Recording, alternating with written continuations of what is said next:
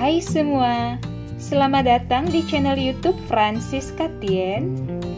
Di video kali ini, saya akan membuat kue nastar yang bentuknya unik dan rasanya enak. Buat kamu yang pengen tahu tutorialnya, silahkan ditonton videonya. Jangan lupa di like, subscribe, komen, share, dan nyalakan lonceng notifikasinya agar tidak ketinggalan video terbaru dari channel saya. Terima kasih.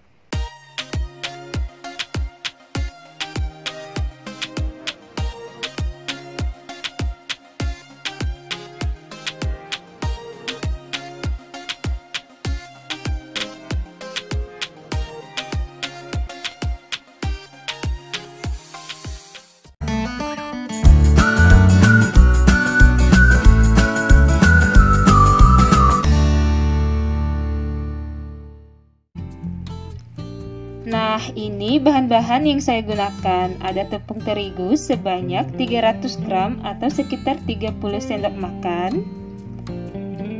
Ada gula halus sebanyak 100 gram atau sekitar 10 sendok makan.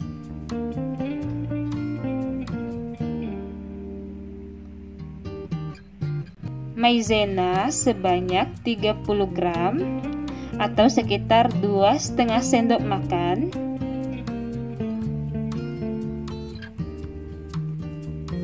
Ada kuning telur sebanyak 2 butir.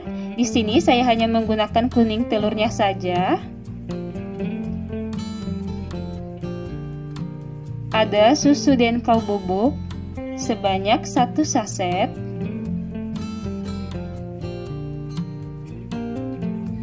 ada vanilin, saya menggunakan secukupnya aja.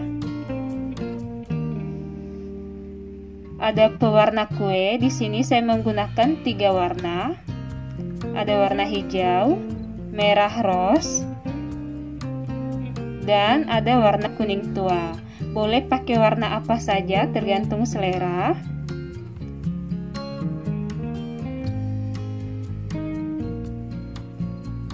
ada mentega. Di sini saya menggunakan mentega sebanyak 150 gram. Ada rum butter sebanyak satu setengah sendok makan.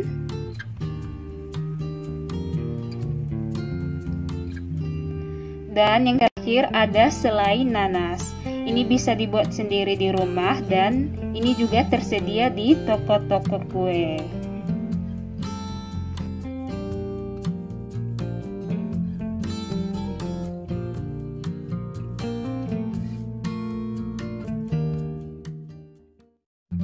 Nah, langkah pertama, masukkan gula halus sebanyak 100 gram atau sekitar 10 sendok makan.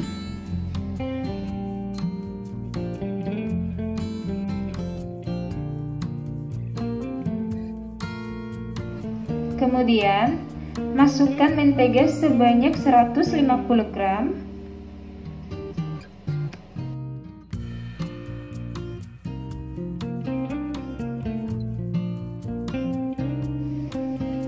Lalu, mixer kedua bahan.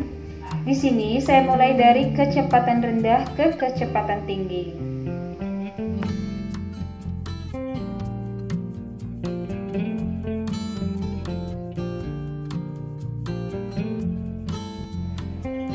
Nah, saya mixer kurang lebih 7 menit hingga kedua bahan tercampur dengan rata dan ngembang seperti ini.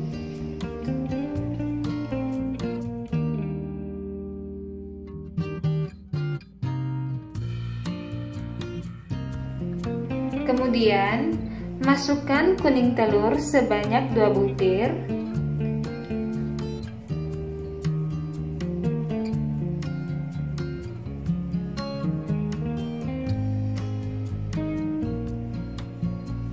Lalu, masukkan rum butter sebanyak satu setengah sendok makan.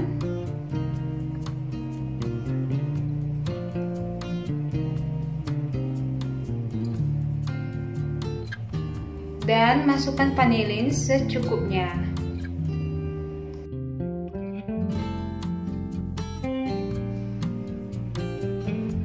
Kemudian, mixer lagi semua bahan yang sudah dimasukkan. Di sini, saya mixer selama 5 menit.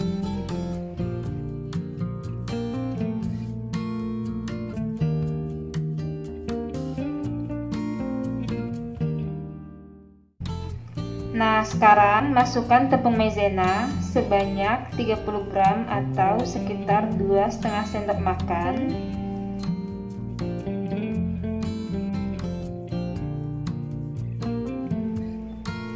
Masukkan susu dan kau bubuk sebanyak satu saset.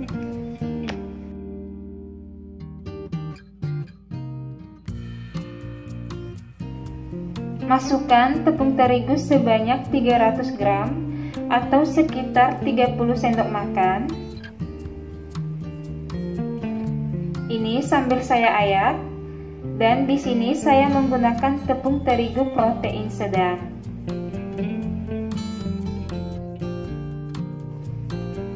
Kemudian, mixer lagi selama 5 menit dan pastikan semua bahan tercampur dengan rata.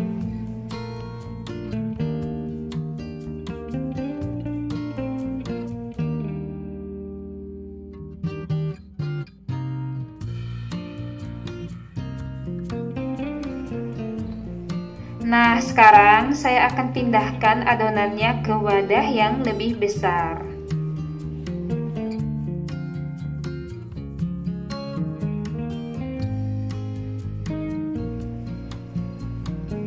Dan sekarang saya akan uleni adonannya dengan menggunakan tangan manual.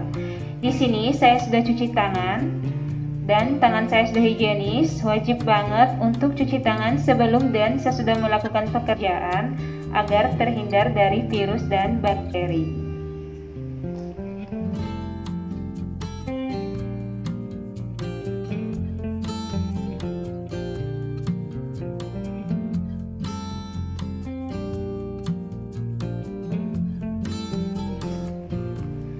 dan ini adonannya sudah jadi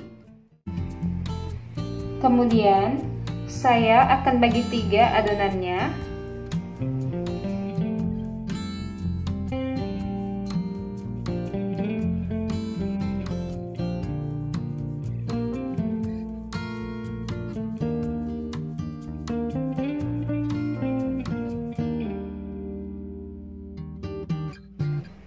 Lalu saya akan kasih warna.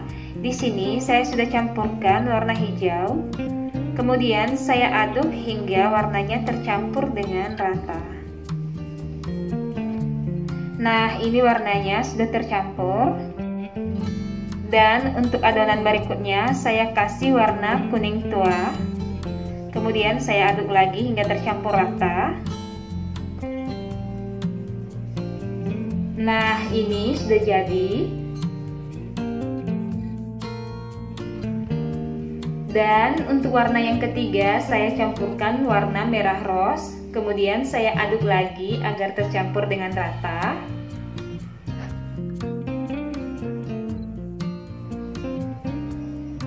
Dan adonan warna merah rose-nya sudah jadi.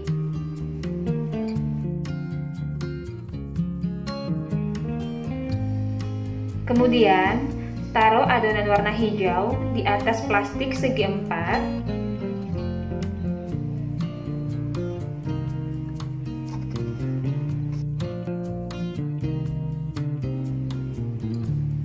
Lalu, letakkan plastik di atas adonan dan ratakan dengan menggunakan gelas.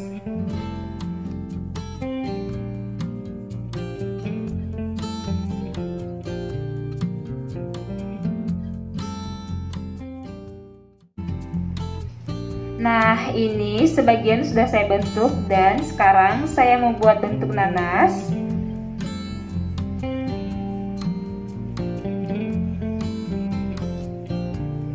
Di dalamnya saya kasih selai nanas. Boleh buat bentuk apa saja tergantung selera.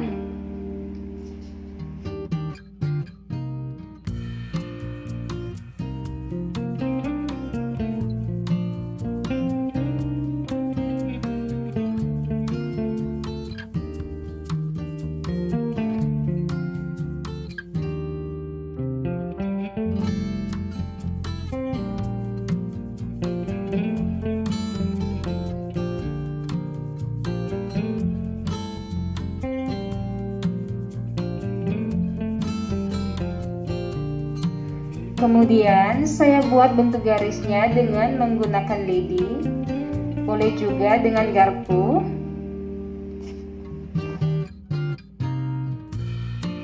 Lalu saya bentuk daunnya dengan menggunakan spoolie.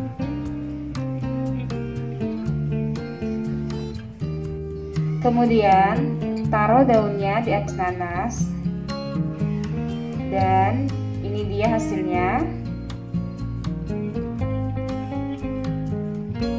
Dan sekarang saya akan buat bentuk stroberi.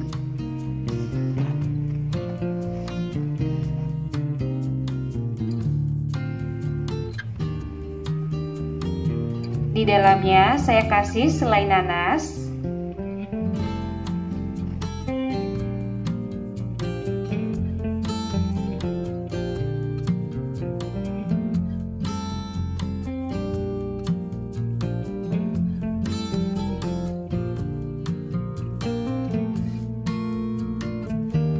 Lalu saya membuat titik dengan menggunakan lidi.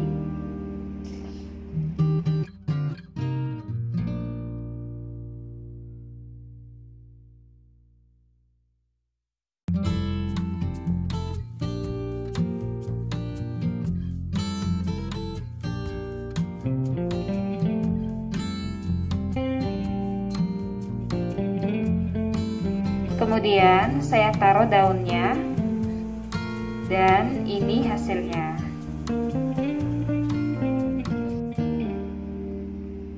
Nah sekarang saya mau buat bentuk daun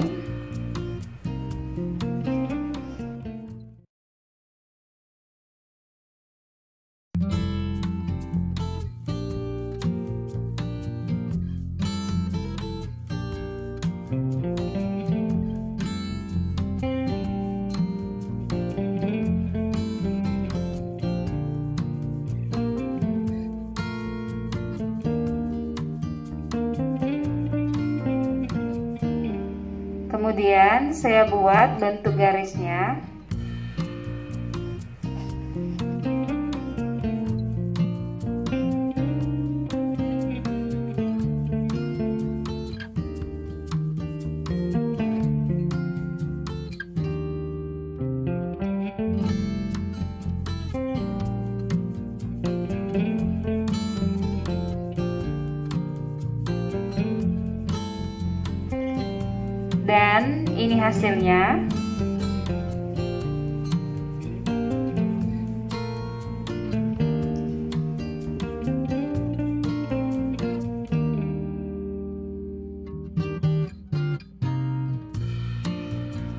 Dan yang terakhir saya buat bentuk ulat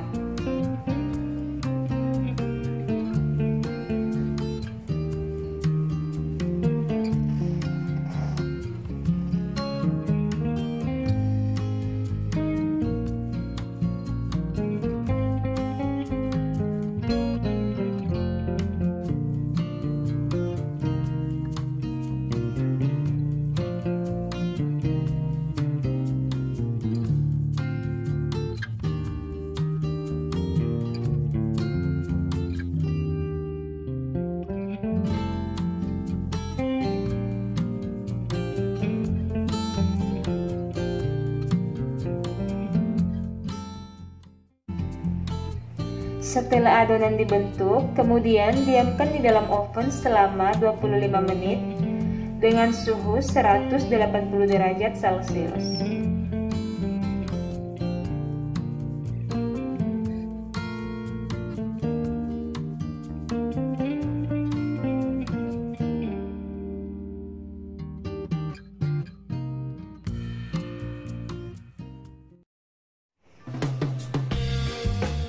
Kue nastarnya sudah jadi guys Nah, buat kamu yang pengen buat kue nastar dengan bentuk yang unik dan rasa yang enak, saya rekomendasi buat cobain tutorialnya. Selamat mencoba!